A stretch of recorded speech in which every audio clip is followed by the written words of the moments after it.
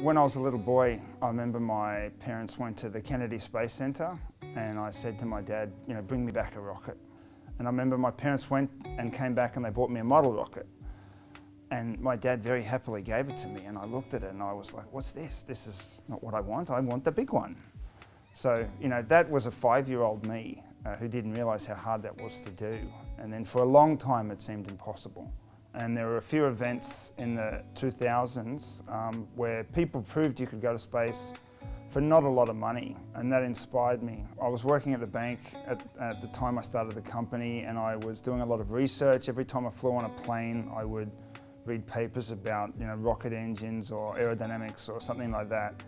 Uh, and then we started the company with three engineers, and with three engineers, we did our first engine test and our first rocket launch. That was the kind of fulfillment of a dream where I wanted to build a rocket to go to space and when we tested that engine it was spectacular. There was an immense amount of noise and flames and the ground shook and I remember thinking we're, we're on our way, we're going to space. Winning the Advance Award, I hope what that does is uh, give me some more access to decision makers in the Australian government because the industry I'm in is in its infancy and needs to be steered and moved correctly. I think that the country as a whole doesn't have a view that it can do unbelievable things and I think that that manifests itself in the space industry. When I came to Australia, everybody said to me, oh, you know, we don't do space here.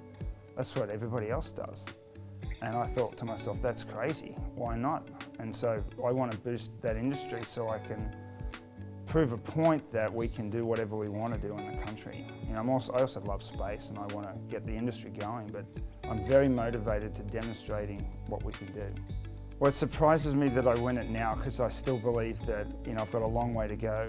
Um, so obviously we've done some good work already and I'm happy about that, but I'm definitely looking forward to astounding people a lot more in the future.